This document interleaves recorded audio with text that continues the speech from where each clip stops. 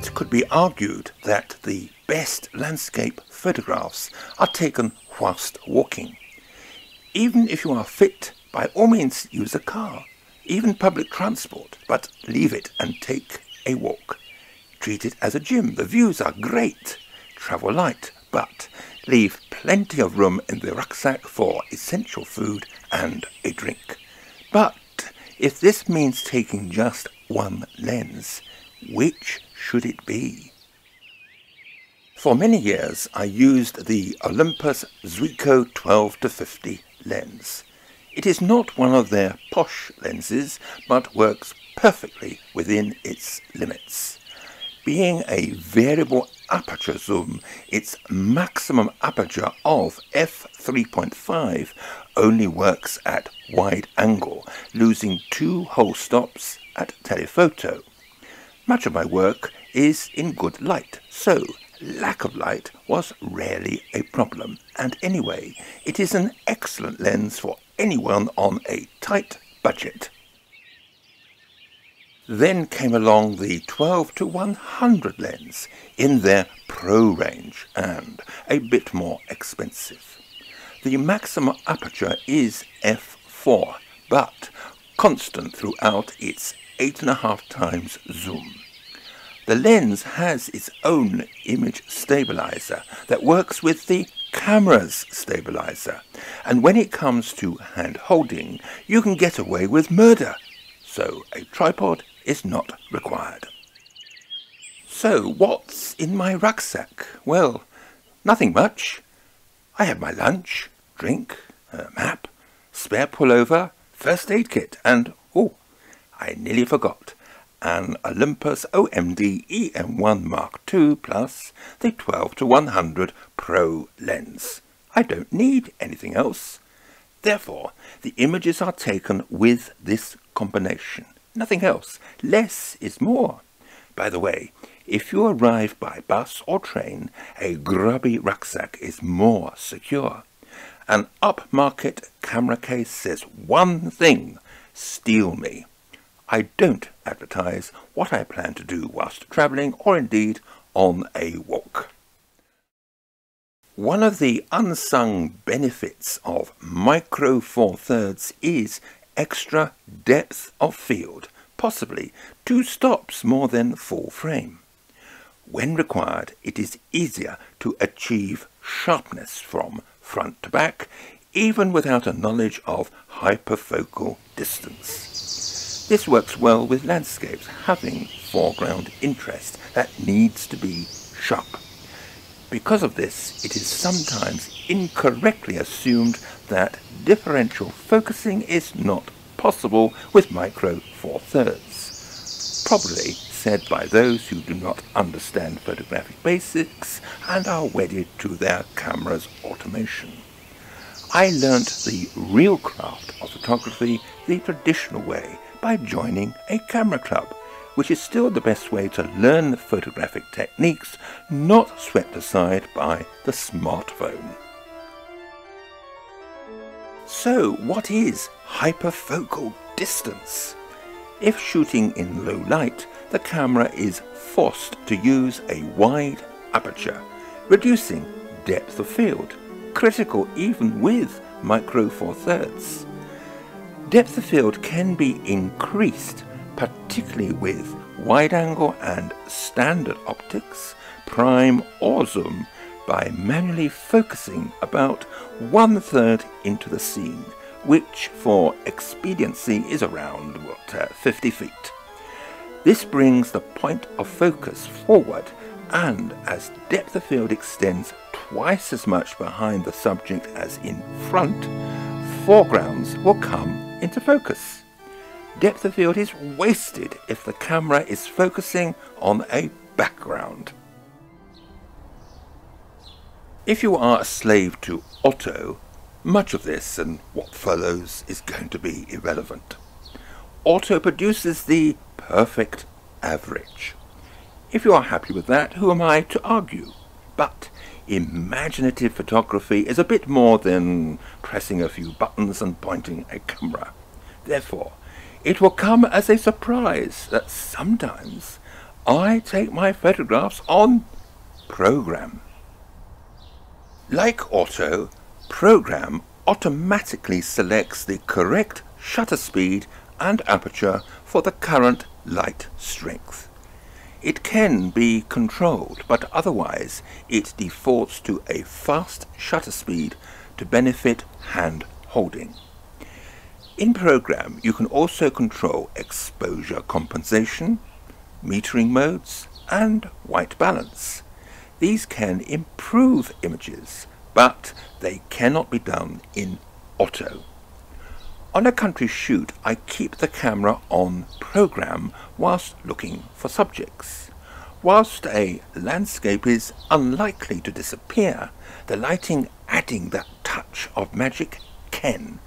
So I take a quick snap on program. If everything is hunky-dory, and of course being a real photographer, afterwards I switch to aperture priority adjust depth of field, and take another photograph. On program, aperture or shutter priority, I spot meter. Shoot at 200 ISO, exposure compensation set to minus 0.3 EV, white balance on daylight or cloudy, but not auto. I saved a RAW and execute quite a bit of work in Adobe Lightroom, often shooting with that in mind. For this program I make JPEG copies from adjusted RAW files, cropping to 16 times 9 ratio for YouTube from 4x3, so I leave space around the image. Equally important as research is a project. Why am I taking these images? A project can influence how they are taken. If you can shoot with more than one task in mind, that is to the good, and for this, RAW is a godsend. I do not use filters because you are locked into them, and like any true artist, I keep changing my mind. Changes are made in Lightroom. It offers greater flexibility, and when I make a mistake, I undo it. Time to come back to the 12 to 100 lens. An 8.5 times zoom offers considerable scope for composition from a generous wide angle equivalent to 24mm in film to a decent telephoto equivalent to 200mm in film. If you are shooting wildlife, you need something more powerful. Also, much is said about the Zuiko 7 to 14 wide angle zoom. It is certainly impressive, but more suitable for interiors than landscapes. It reduces mountains to molehills. I prefer a 3,000 foot fell in the Lake District to look like a mountain and not an insignificant lump. Whilst composition is important, lighting is the one thing that makes or breaks a photograph. I don't subscribe to the golden hour as the only time to take landscapes. A landscape photographer should be able to take successful images at any time, provided the weather is doing the right thing.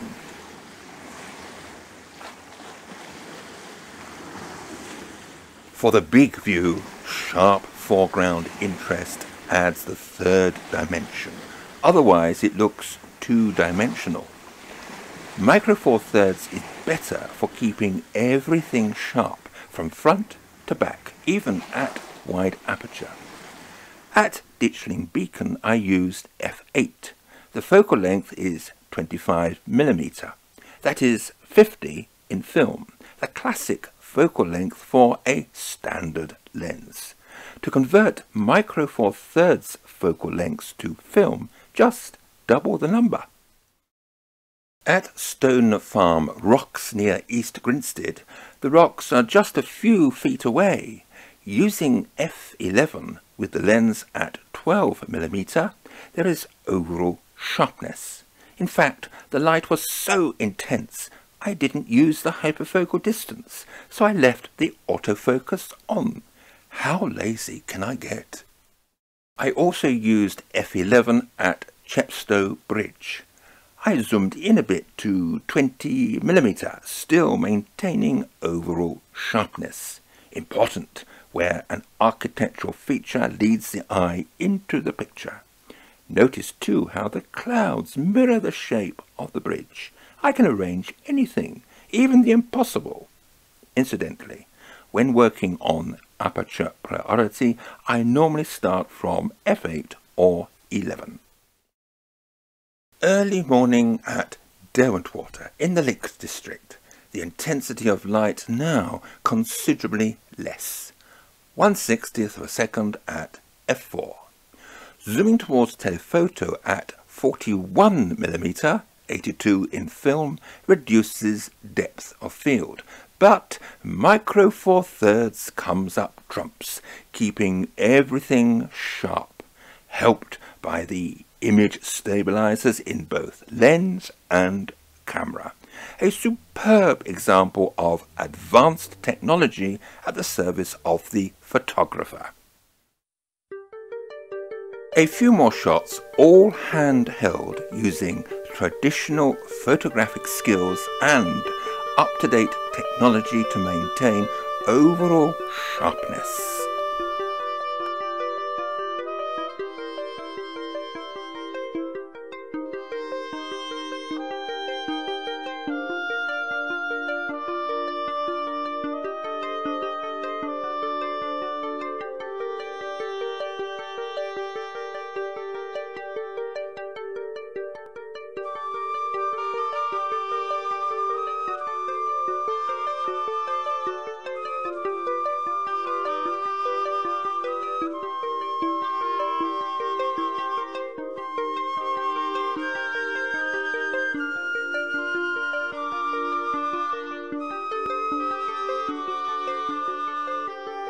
The most difficult skill to master is composition, the ability to develop a photographic eye. I can see a picture at 50 paces, but that takes experience, which I cannot teach. We live in an instant gratification world, but creative photography is a long, winding road and with few shortcuts.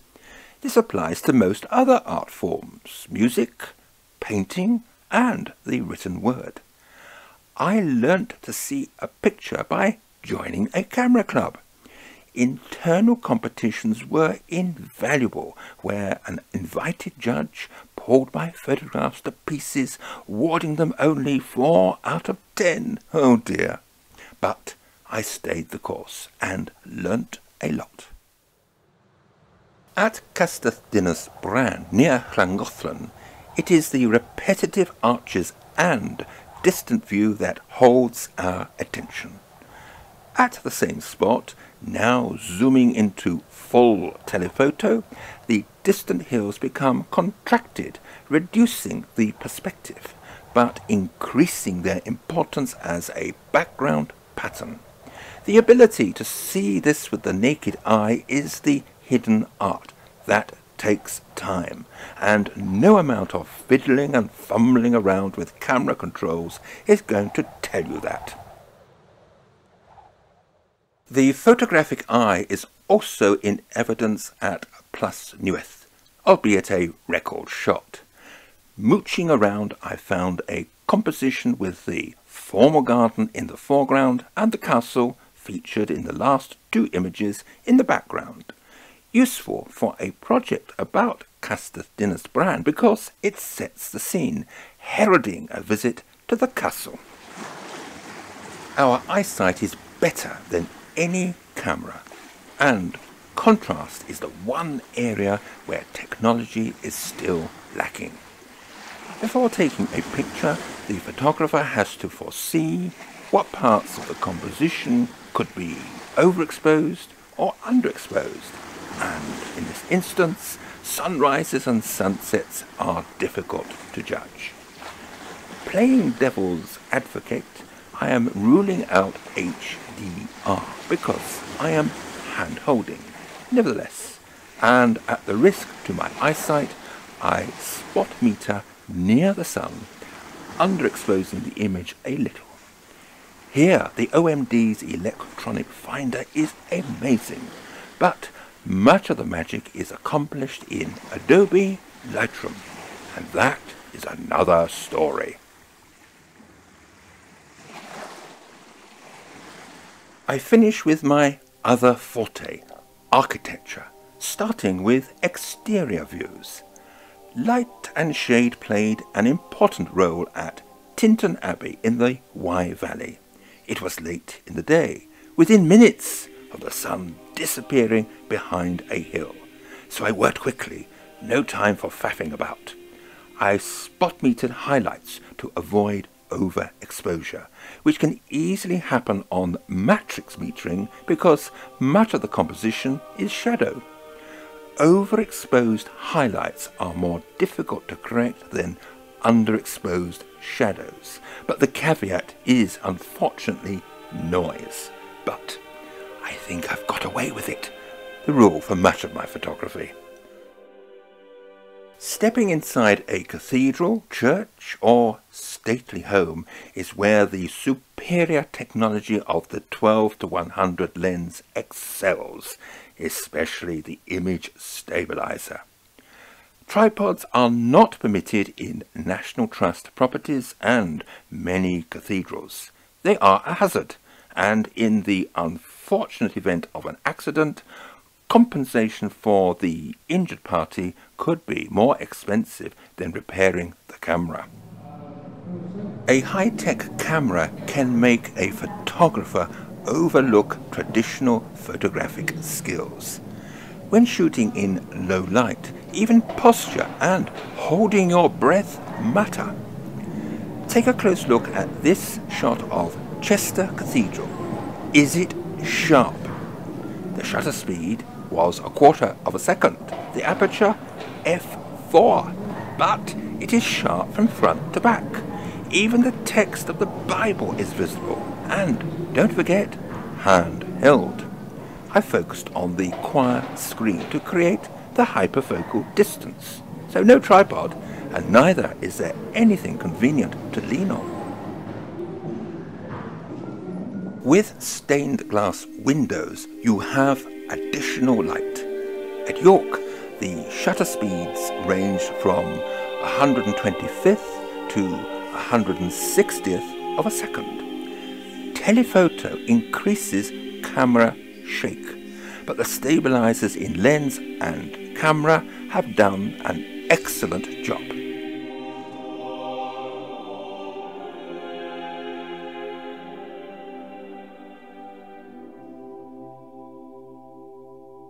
Light from stained glass can be creative under certain conditions, and although the photographer is indoors, it is the weather outside that produces the magic. I visited Chester Cathedral when returning home from Wales. It was 5 pm, the sun now quite low in the sky. Colours from stained glass windows were projected across the cathedral floor, creating abstract images of fancy. Wonderful to behold, but only visible early or late in the day when the sun is low or most of the time in winter. Again, I spot metered, preserving the rich colours, the areas not receiving sunlight fading into the background, which I do not correct in post-production. A difficult mix to get right is a dark interior with a bright window in the same shot. It is easy to underexpose the interior or overexpose the window. Cameras and software have improved, and whilst I tended to underexpose, now I can allow the window to become slightly overexposed in the knowledge that it can be corrected in Lightroom. This is only possible with the later OMD cameras and Lightroom, allowing a bit more latitude in exposure, reducing the risk of noise. I am a doer, not a photographer who follows obsolete rules. I get results where others fear to tread. I understand those photographic basics that can be used with today's advanced technology, ridding myself of what is no longer required. Therefore, my approach is spontaneous, grabbing the inspirational moment. I don't hang about. The Zuiko 12-100 Pro lens allows me to do just that. It gives that essential freedom of operation technically and artistically. Take the lens image stabilizer. It is used in conjunction with the camera's stabilizer. It gives me freedom to see a picture immediately and at 50 paces because I am no longer weighed down or obstructed by superfluous gear. Also, because of extended depth of field, Micro Four Thirds is ideal inside cathedrals under low light. Even at full aperture, it is difficult to believe the overall sharpness, yet with a traditional knowledge of photography, differential focusing is possible. You can have it both ways until improvements in technology make me think again.